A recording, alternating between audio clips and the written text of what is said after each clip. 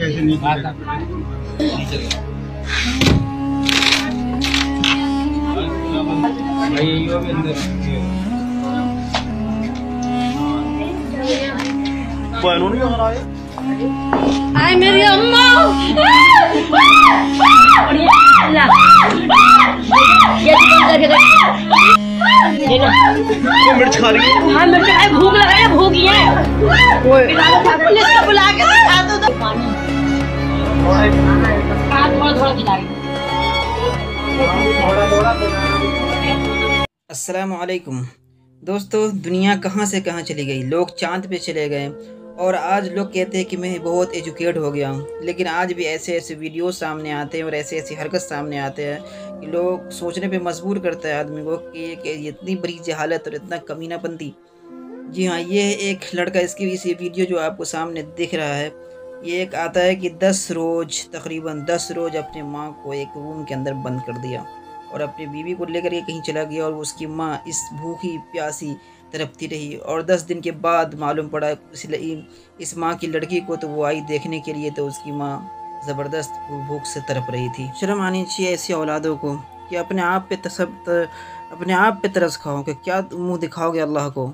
जहाँ अल्लाह कुरान में फरमाया, अपनी इबादत के फ़ौर बाद अल्लाह ने कहा कि अपने माँ बाप पर, मैं अपने माँ बाप के साथ अच्छे सलूक करो। अरे कम से कम दूसरों का नहीं तो अपने आप का भी ख्याल रखो मेरे भाई, ऐसी औलाद। दूसरा वीडियो ये एक और सोशल मीडिया पे बहुत ज़्यादा वायरल और दिखी जा रही है। ये एक बाबा जी हैं और रोड पे ही ये बैठ के ही नमाज़ का टाइम हुआ तो इन्होंने किसी की बिना परवाह करते हुए नमाज़ पढ़ने लगे। और किसी ने इनका वीडियो बना लिया। देख लीजिए कितने गरीब हैं। इनके पीछे इनके बच्चे होंगे, इनकी औलादें होंगी, इनकी औलाद होंगी, इनकी बीवियाँ होंगी। और ये बेचारे रिक्शा चला रहे हैं, उसके ऊपर इतना लोड डाले हुए हैं, उसके बावजूद भी अल्लाह का कितना खौफ है। जो बैठ के ही नमाज़, उसी जगह पे नमाज़ का टाइम हुआ तो पढ़ लिए। और एक आम लोग हैं और और भी बहुत सारे लोग हैं जो नमाज़ को किस तरीके से बेपरवाही से करते हैं, बेपरवाही से उसका ज़ाया करते हैं। एक और वीडियो सामने आया जो आपके स्क्रीन पे दिखा रहा हूँ, ये सऊदी क्या है। ताइफ अलबहार रोड पे एक बहुत बड़ा हादसा पेश आया। दो कारें आपस में सामने से टकराई और इतनी स्पीड इसका देख लीजिए, अब इसकी स्पीड कितनी है देखिए, और ये इतनी स्पीड उसकी पार्ट पार्ट इसके पुर्जे इतना छितर बितर हो गए पार्ट पार्ट्स उठ गए और इनके जो अंदर बच्चे तकरीबन आठ अफराद इसमें हलाक हुए हैं और छः तो सगे भाई हैं। छः सगे भाई और एक सगे भाई आप अंदाज़ा लगाएँ कि कोई माँ बाप अपनी एक बच्ची की सदमा बर्दाश्त नहीं कर सकता, करता है। कभी कभी तो सुनने को मिलता है कि उसकी एक औलाद चली गई तो सदमे में ही दुनिया से चला गया और कई सारे उनके माइंटली तौर पर डिस्टर्ब हो जाते हैं। और जिनकी छः छः औलाद एक साथ इतने बड़े हादसा उनके साथ हुआ होगा, वो कैसे सब्र करेंगे? सोच सोच, अब थोड़ी थोड़ी देर के लिए ये सो अपने आप सोच कर देखिए कि क्या हश्र होगा इनका।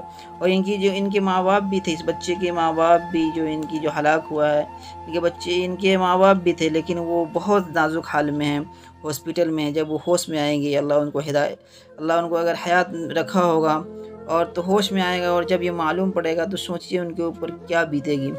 दोस्तों, सऊदी का हाल तो ऐसा ही है, क्योंकि सऊदी में ये हादसा ऐसे होते रहते हैं, लेकिन कुछ हादसा खुद हादसा कुछ हादसा ऐसा होता है जो बहुत ही झंझो कर रख देता है।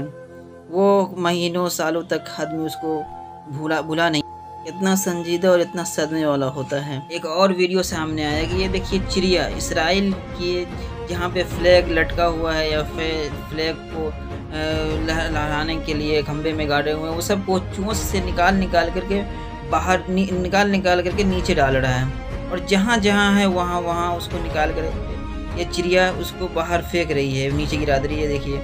ऐसा लग रहा है कि अब अब्राहा का हाथी जो खाना काबा को लूटने के लिए, उसको तहस नहस करने के लिए बड़े बड़े हाथी और बड़े बड़े फौज लेकर के आया था और अब आबिल चिड़िया जो ऊपर से कंकरिया गिराई थी अपने चोच के ज़रिए, ऐसा लगता है कि इसराइल का भी यही हाल होने वाला है। क्योंकि इसराइल भी जुल्म सितम, बहुत ज़्यादा जुल्म सितम, जो जुल्म सितम का हद होता है, उसको पार कर चुका है और मुसलमानों पे बहुत ज़्यादा जुल्म सितम ढा रहा है। दोस्तों, इस वीडियो में इतना ही। आप ये तमाम वीडियोस पे अपनी राय ज़रूर दीजिएगा। शुक्रिया थैंक यू मिलते हैं नेक्स्ट वीडियो में, जब तक के लिए अपने और अपने फैमिली का खूब ज़्यादा ख्याल रखिए। शुक्रिया।